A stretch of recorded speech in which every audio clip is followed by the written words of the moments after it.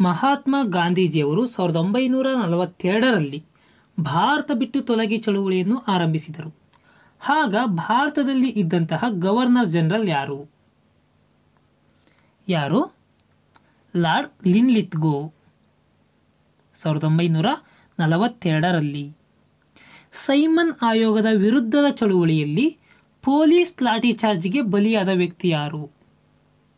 Simon ಆಯೋಗದ ವಿರುದ್ಧದ ಚಳುವಳಿಯಲ್ಲಿ police ಲಾಠಿ ಚಾರ್ಜಿಗೆ ಬಲಿಯಾದ ವ್ಯಕ್ತಿ ಲಾಲಾ ಲಜಪತ ರಾಯ್.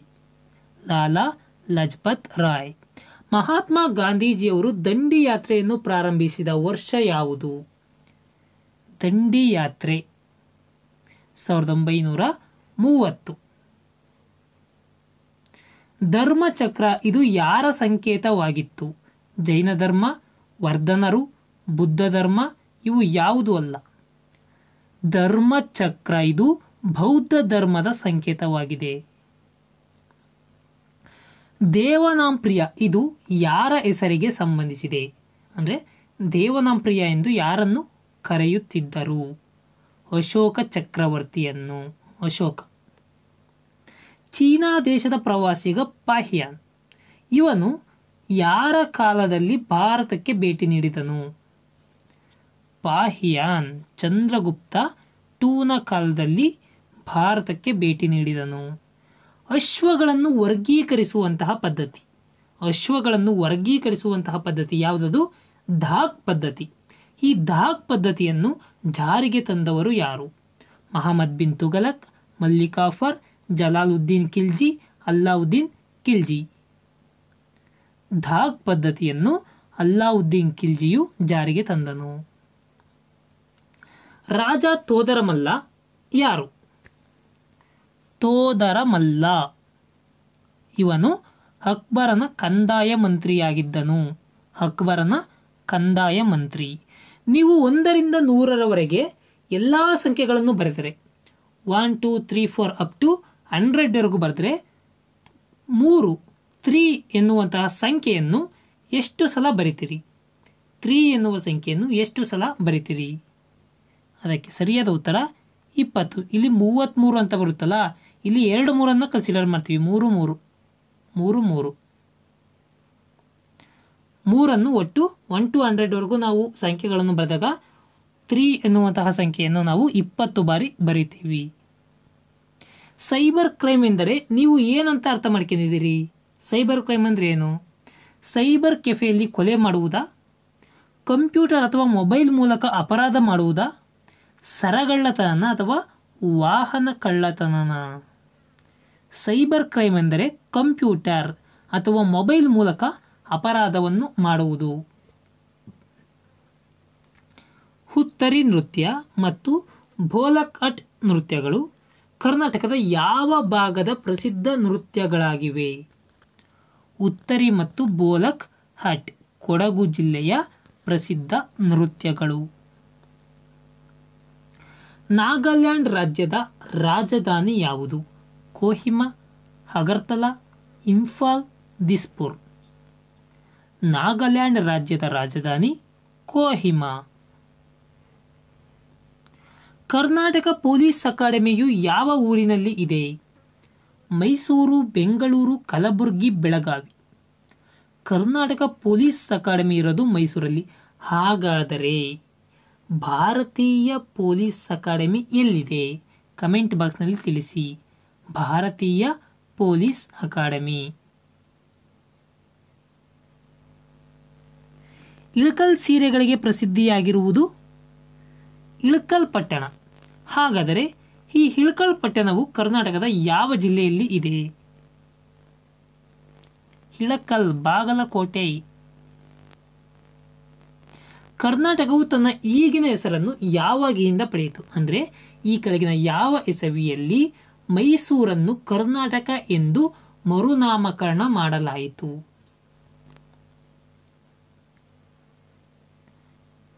ಯಾವಾಗ? ನವೆಂಬರ್ ಒಂದು, ಸಾವಿರದ ಒಂಬೈನೂರ ಎಪ್ಪತ್ತ್ಮೂರರಂದು ಹಾಗಾದರೆ ಮೈಸೂರು ರಾಜ್ಯ ಸ್ಥಾಪನೆ ಆಗಿದ್ದು ಯಾವಾಗ? ಎಂದು ಕಮೆಂಟ್ ಬಾಕ್ಸ್ನಲ್ಲಿ ತಿಳಿಸಿರಿ. ಮೈಸೂರು ರಾಜ್ಯ ಸ್ಥಾಪನೆಯಾಗಿದ್ದು ಯಾವಾಗ? ಭಾರತದ ರಾಷ್ಟ್ರಗೀತೆಯಾದಂತಹ ಜನಗಣ ಮನ ಇದನ್ನು ಬರೆದವರು ಯಾರು? ಭಾರತದ ರಾಷ್ಟ್ರಗೀತೆ ಜನಗಣ ಮನವನ್ನು ಬರೆದವರು ರವೀಂದ್ರನಾಥ್ ಟ್ಯಾಗೂರ್. ಕೈಗಾ ಅಣುಶಕ್ತಿ ಸ್ಥಾವರವು ಯಾವ ಜಿಲ್ಲೆಯಲ್ಲಿ ಇದೆ? ಕೈಗಾ, ಕರ್ನಾಟಕದ ಕೈಗಾ, ಉತ್ತರ ಕನ್ನಡ ಜಿಲ್ಲೆಯಲ್ಲಿ ಕಂಡುಬರುತ್ತದೆ. It is a nuclear power plant world wide web W W W ಇದನ್ನು ಕಂಡುಹಿಡಿದವರು ಯಾರು? Tim Berners Lee Alexander Bain J C R Licklider Alexander Graham Bell Tim Berners Lee W W W Sonalika ಮತ್ತು ಕಲ್ಯಾಣ ಸೋನೆ, ಇವುಗಳು ಯಾವುದರ ತಳಿಗಳು? ಸೋನಾಲಿಕಾ ಮತ್ತು ಕಲ್ಯಾಣ ಸೋನೆ. ಇವೆರಡೂ ಕೂಡ ಗೋಧಿಯ ತಳಿಗಳಾಗಿವೆ. ಜೀವಶಾಸ್ತ್ರಜ್ಞರಾದ ಡಿಯೋ ಜೇಮ್ಸ್ ಡಿ ವ್ಯಾಟ್ಸನ್ ಮತ್ತು ಫ್ರಾನ್ಸಿಸ್ ಕ್ರಿಕ್ ರವರು ಸಾವಿರದ ಒಂಬೈನೂರ ಐವತ್ಮೂರರಲ್ಲಿ ಏನನ್ನು ಕಂಡುಹಿಡಿದರು? ಅಂದರೆ ವಾಟ್ಸನ್ ಎಲ್ಲಿಯವನು? ಅಮೇರಿಕದವನು. ಫ್ರಾನ್ಸಿಸ್ ಕ್ರಿಕ್ ಎಲ್ಲಿಯವರು? ಯು ಕೆಯವರು ಇವರಿಬ್ಬರೂ ಸೇರಿಕೊಂಡು ಸಾವಿರದ ಐನೂ, ಸಾವಿರದ ಒಂಬೈನೂರ ಐವತ್ಮೂರರಲ್ಲಿ ಏನನ್ನು ಕಂಡುಹಿಡಿದರು? ಡಿ ಎನ್ ಎಯ ಸಂರಚನೆಯನ್ನು ಕಂಡುಹಿಡಿದರು ಹಾಪ್ಟಿಕಲ್ ಫೈಬರ್ ಈ ಕೆಳಗಿನ ಯಾವ ತತ್ವದ ಮೇಲೆ ಕೆಲಸ ಮಾಡುತ್ತದೆ? Optical fibre is worked on the principle of ಒಟ್ಟು ಆಂತರಿಕ ಪ್ರತಿಬಿಂಬ, total internal reflection, T I R. Electric ಬಲ್ಬ್ಗಳಲ್ಲಿ ತುಂಬಿರುವ ಅನಿಲ ಯಾವುದು? Nitrogen, hydrogen, carbon dioxide, oxygen. Electric ಬಲ್ಬ್ಗಳಲ್ಲಿ nitrogen ಅನ್ನು ತುಂಬಿರುತ್ತಾರೆ.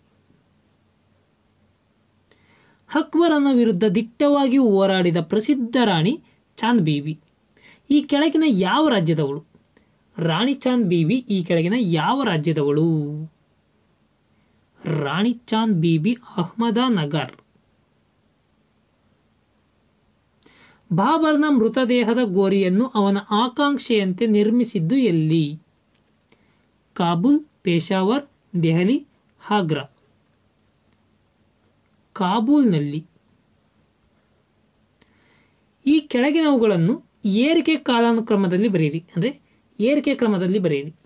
ಮೊದಲನೇ ಪಾಣಿಪತ್ ಯುದ್ಧ, ದ್ವಿತೀಯ ತರೈನ್ ಯುದ್ಧ, ರಾಜಧಾನಿಯನ್ನು ದೆಹಲಿಯಿಂದ ದೇವಗಿರಿಗೆ ವರ್ಗಾವಣೆ, ಅಹ್ಮದ್ ಶಾ ಅಬ್ದುಲ್ನ ದಾಳಿ. ಇದನ್ನು ಏರಿಕೆ ಕ್ರಮದಲ್ಲಿ ಬರೆದಾಗ ಹೇಗಿರುತ್ತೆ ಅಂದರೆ ನೋಡೋಣ. ಮೊದಲು ಮೊದಲು ಮೊದಲ ಪಾಣಿಪತ್ ಯುದ್ಧ, ನಂತರ ದ್ವಿತೀಯ ತರೈನ್ ಯುದ್ಧ, ನಂತರ ರಾಜಧಾನಿಯನ್ನು ದೆಹಲಿಗೆ, ದೆಹಲಿಯಿಂದ ದೇವಗಿರಿಗೆ ವರ್ಗಾವಣೆ, ನಂತರ ಕೊನೆಯದಾಗಿ ಅಹ್ಮದ್ ಶಾ ಅಬ್ದಾಲ್ನ ದಾಳಿ. ಪ್ರಾಚೀನ ಭಾರತದ ಸಾಹಿತ್ಯ ಇತಿಹಾಸದಲ್ಲಿ ಪಾಣಿನಿ ಮತ್ತು ಪತಂಜಲಿಯರು ಪ್ರಸಿದ್ಧರು. ಸಾಹಿತ್ಯ ಇತಿಹಾಸದಲ್ಲಿ ಪಾಣಿನಿ ಮತ್ತು ಪತಂಜಲಿಯವರಿಬ್ಬರು ಕೂಡ ಪ್ರಸಿದ್ಧರಾಗಿದ್ದಾರೆ. ಹಾಗಾದರೆ ಇವರು ಪ್ರವರ್ಧಗೊಂಡಿದ್ದು ಈ ಕೆಳಗಿನ ಯಾವ ರಾಜಮನೆತನದ ಅಡಿಯಲ್ಲಿ? ಅಂದರೆ ಯಾವ ರಾಜಮನೆತನದ ಅಡಿಯಲ್ಲಿ ಆಶ್ರಯದಾತರಾಗಿದ್ದರು ಅಂದರೆ ಅದಕ್ಕೆ ಉತ್ತರ, ಶುಂಗರು. ಈ ಕೆಳಗಿನ ಕಟ್ಟಡಗಳ ನಿರ್ಮಾಣದ ಏರಿಕೆಯನ್ನು ಕಾಲಾನುಕ್ರಮದಲ್ಲಿ ಬರೆಯಿರಿ. ನಿರ್ಮಾಣ ಇಸವಿಯ ಅಲ್ಲಿ ಏರಿಕೆ ಕ್ರಮ. ಪೂರಿ ಜಗನ್ನಾಥ ದೇವಾಲಯ, ಮೀನಾಕ್ಷಿ ದೇವಾಲಯ ಮಾಮಲ್ಲಪುರಂ ದೇವಾಲಯ ಮತ್ತು ಕುತುಬ್ ಮಿನಾರ್. ಏರಿಕೆ ಕ್ರಮದಲ್ಲಿ ಬರೆದಾಗ, ಮೊದಲು ಕಟ್ಟಿದ್ದು ಮಾಮಲ್ಲಪುರಂ ದೇವಾಲಯ ಆನಂತರ ಪೂರಿ ಜಗನ್ನಾಥ ದೇವಾಲಯ ಆನಂತರ ಕುತುಬ್ ಮಿನಾರ್, ಕೊನೆಯದಾಗಿ ಮೀನಾಕ್ಷಿ ದೇವಾಲಯ. ಈ ಮೀನಾಕ್ಷಿ ದೇವಾಲಯ ತಮಿಳುನಾಡಿನಲ್ಲಿ ಕಂಡುಬರುತ್ತದೆ. ಹಾಗಾದರೆ ತಮಿಳುನಾಡಿನಲ್ಲಿ ಎಲ್ಲಿ ಕಂಡುಬರುತ್ತದೆ? ಆ ಊರಿನ ಹೆಸರನ್ನು ಕಮೆಂಟ್ ಬಾಕ್ಸ್ನಲ್ಲಿ ತಿಳಿಸಿರಿ. ಫಿರೋಜ್ ಶಾ ತುಘಲಕ್ನ ಕಾಲದಲ್ಲಿ ದೇಶದ ಕಂದಾಯವನ್ನು ಅನೇಕ ವಿಧಾನಗಳಿಂದ ಸಂಗ್ರಹಿಸಲಾಗುತ್ತಿತ್ತು. ಹಾಗಾದರೆ ಈ ಕೆಳಗಿನವುಗಳ ಪೈಕಿ ಅದರಲ್ಲಿ ಯಾವುದು ಅಲ್ಲ? ಯಾವ ರೀತಿ ಫಿರೋಜ್ ಶಾ ತುಘಲಕ್ ಕಾಲದಲ್ಲಿ ದೇಶದ ಕಂದಾಯವನ್ನು ಯಾವ ರೀತಿ ಸಂಗ್ರಹಿಸುತ್ತಿರಲಿಲ್ಲ? ಸರಿಯಾದ ಉತ್ತರ. ಭೂ ಕಂದಾಯ ಹೆಚ್ಚಳ. ಈ ರೀತಿ ಅವನು ಕಂದಾಯವನ್ನು ಸ್ವೀಕರಿಸುತ್ತಿದ್ದಿಲ್ಲ.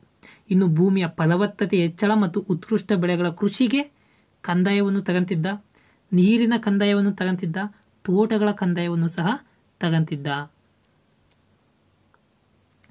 ನೂರ ಎಪ್ಪತ್ನಾಲ್ಕನೇ ವಿಧಿಯನ್ವಯ ರಾಜ್ಯ ಶಾಸಕಾಂಗದ ಅಧಿವೇಶನವನ್ನು ಕರೆಯುವ, ಮುಂದೂಡುವ ಹಾಗೂ ವಿಸರ್ಜಿಸುವ ಅಧಿಕಾರವನ್ನು ಹೊಂದಿರುವವರು ಯಾರು?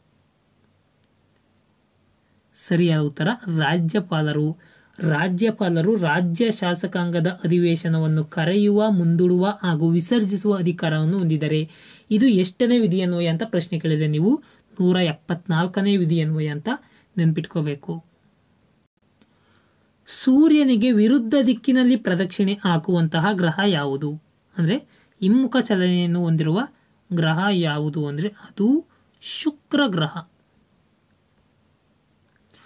ಭೂಮಿಯ ಕೇಂದ್ರಗೋಳದಲ್ಲಿ ಹೆಚ್ಚಾಗಿ ಕಂಡುಬರುವ ಖನಿಜಗಳು ಯಾವುವು? ಭೂಮಿಯ ಕೇಂದ್ರಗೋಳದಲ್ಲಿ ಸಿಲಿಕೇಟ್ ಮತ್ತು ಮೆಗ್ನೀಷಿಯಂ, ಕಬ್ಬಿಣ ಮತ್ತು ನಿಕ್ಕಲ್, ಸಿಲಿಕೇಟ್ ಮತ್ತು ಕಬ್ಬಿಣ, ಮೆಗ್ನೀಷಿಯಂ ಮತ್ತು ಕಬ್ಬಿಣ. ಭೂಮಿಯ ಕೇಂದ್ರಗೋಳದಲ್ಲಿ ಕಬ್ಬಿಣ ಮತ್ತು ನಿಕ್ಕಲ್ ಹೆಚ್ಚಾಗಿ ಕಂಡುಬರುತ್ತವೆ. ಮೇಲಿಂದ ಮೇಲೆ ತಮ್ಮ ಕಾರ್ಯಾಚರಣೆಯಿಂದ ಭೂಗರ್ಭದಲ್ಲಿನ ಶಿಲಾವಸ್ತುಗಳನ್ನು ಹೊರಚಿಮ್ಮುವ ಜ್ವಾಲಾಮುಖಿಗಳಿಗೆ ಜಾಗೃತ ಜ್ವಾಲಾಮುಖಿ ಎನ್ನುತ್ತಾರೆ. ಮೇಲಿಂದ ಮೇಲೆ ತಮ್ಮ ಕಾರ್ಯಾಚರಣೆಯಿಂದಾಗಿ ಭೂಗರ್ಭದಲ್ಲಿನ ಶಿಲಾವಸ್ತುಗಳನ್ನು ಹೊರಚಿಮ್ಮುವ ಜ್ವಾಲಾಮುಖಿಗಳಿಗೆ ಜಾಗೃತ ಜ್ವಾಲಾಮುಖಿಗಳು ಎನ್ನುತ್ತಾರೆ. ಹಾಗಾದರೆ ಈ ಕೆಳಗಿನವುಗಳಲ್ಲಿ ಜಾಗೃತ ಜ್ವಾಲಾಮುಖಿ ಯಾವುದು? ಆಕ್ಟಿವ್ ವೋಲ್ಕೆನೋ ಯಾವುದು? ಪಾರಿ ಕುಟಿನ್ ಇದು ಆಕ್ಟಿವ್ ವೋಲ್ಕೆನೋ ಆಗಿದೆ. ಪಾರಿ ಕುಟಿನ್ ವಾಯುಮಂಡಲದ ಈ ಕೆಳಗಿನ ಯಾವ ಸ್ತರವನ್ನು ಉಲ್ಕೆಗಳು ಕರಗುವ ಸ್ತರವೆಂದು ಕರೆಯುವರು? ಉಲ್ಕೆಗಳು ಕರಗುವ ಸ್ತರ ಸಮೋಷ್ಣ ಮಂಡಲ ಅಯಾನುಮಂಡಲ, ಮಧ್ಯಮಂಡಲ, ಪರಿವರ್ತನಾ ಮಂಡಲ. ಉಲ್ಕೆಗಳು ಕರಗುವ ಸ್ತರ ಮಧ್ಯಮಂಡಲದಲ್ಲಿ ಕರಗುತ್ತವೆ. ಉಪೋಷ್ಣ ವಲಯಗಳ ಹೆಚ್ಚು ಒತ್ತಡ ಪಟ್ಟಿಗಳಿಂದ ಸಮಭಾಜಕ ವೃತ್ತದ ಕಡಿಮೆ ಒತ್ತಡ ಪಟ್ಟಿಯ ಕಡೆಗೆ ಬೀಸುವ ಮಾರುತಗಳಿಗೆ ಏನೆಂದು ಕರೆಯುವರು? ಉಪೋಷ್ಣ ವಲಯಗಳ ಹೆಚ್ಚು ಒತ್ತಡ ಪಟ್ಟಿಗಳಿಂದ ಸಮಭಾಜಕ ವೃತ್ತದ ಕಡಿಮೆ ಒತ್ತಡ ಪಟ್ಟಿಗೆ ಬೀಸುವ ಮಾರುತಗಳಿಗೆ ನಾವು ವಾಣಿಜ್ಯ ಮಾರುತಗಳು ಎಂದು ಕರೆಯುತ್ತೇವೆ. ಈ ಕೆಳಗಿನವುಗಳಲ್ಲಿ ದೇಶದ ಆರ್ಥಿಕತೆಯ ದೃಷ್ಟಿಯಿಂದ ಹೆಚ್ಚು ಬೆಲೆ ಬಾಳುವ ಸಸ್ಯಗಳನ್ನು ಒದಗಿಸುವ ಅರಣ್ಯಗಳು ಯಾವುವು? ಅಂದರೆ, ಈ ಕೆಳಗಿನ ಯಾವ ಅರಣ್ಯದಲ್ಲಿ ಅತಿ ಹೆಚ್ಚು ಬೆಲೆ ಬಾಳುವಂತಹ ಸಸ್ಯಗಳು ಇವೆ? ಎಲೆ ಉದುರಿಸುವ ಮಾನ್ಸೂನ್ ಅರಣ್ಯಗಳಲ್ಲಿ ಹೆಚ್ಚು ಬೆಲೆ ಬಾಳುವ ಸಸ್ಯಗಳು, ಮರಗಳು ಕಂಡುಬರುತ್ತವೆ.